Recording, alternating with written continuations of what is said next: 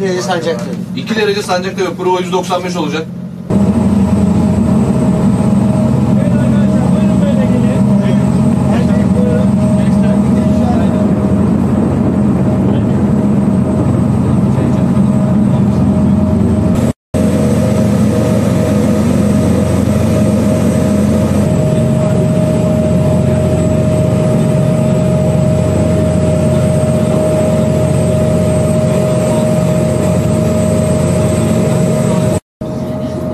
Keyifle geliyorlar.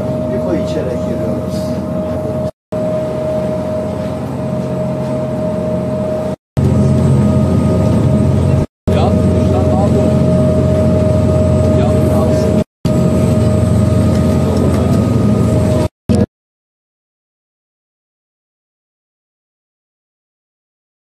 Çanakkale Savaşları'nın ilk aşamasını oluşturan 18 Mart Deniz Zaferi dünya harp tarihine mal olmuş bir kahramanlık destanıdır.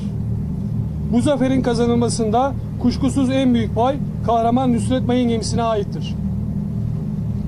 Çanakkale Boğazı'nda ilk mayın hattının oluşturulduğu 4 Ağustos 1914 tarihinden 8 Mart 1915 sabahına kadar Boğazı yabancı savaş gemilerinin geçişine kapatmak maksadıyla Çanakkale Mayın Grup Komutanlığı bağlısı Selanik, İntibah, Samsun ve Nusret mayın gemileri tarafından toplam 377 mayından oluşan 10 mayın hattı tesis edilmiştir.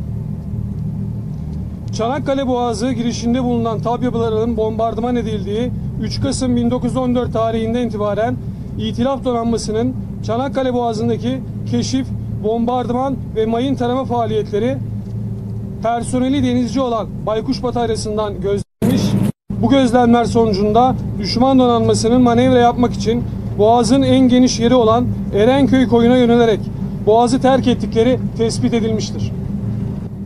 Nusret Mayın gemisi tam 109 yıl önce bu an güvertesinde bulunan 26 mayını ilerlemekte olduğumuz rota üzerinde ve aralarında 100'er metre olacak şekilde deniz seviyesinin 4,5 metre altına dökmüştür. Bacasından mümkün olduğunca az duman çıkarmak için önlem alan Nusret, hiçbir müttefik karakol gemisi tarafından tespit edilmeden 8'de Çanakkale önlerine demirlemiştir. Saat 10'a kadar süren sis ve yağmur, geminin Çanakkale Boğazı'nda girişinde bulunan düşman karakol gemileri tarafından görülmesini engellemiştir. Rumeli Mecidiye tabesinde bulunan Seyit Onbaşı'nın tek başına sırtlayarak namluya sürdüğü 215 okkalık mermi İngilizlerin Ocean zırhlısının dümenini vurmuş ve bu durum düşman gemilerinin nizamını bozmuştur.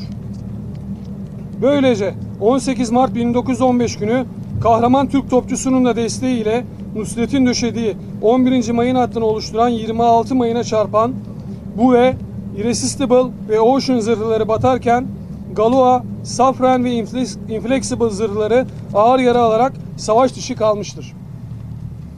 Böylece 18 Mart 1915 günü İtilaf donanması için bir hezimet iken Boğaz'ın kahraman savunucuları için önemli bir deniz zaferi olarak tarihe geçmiştir.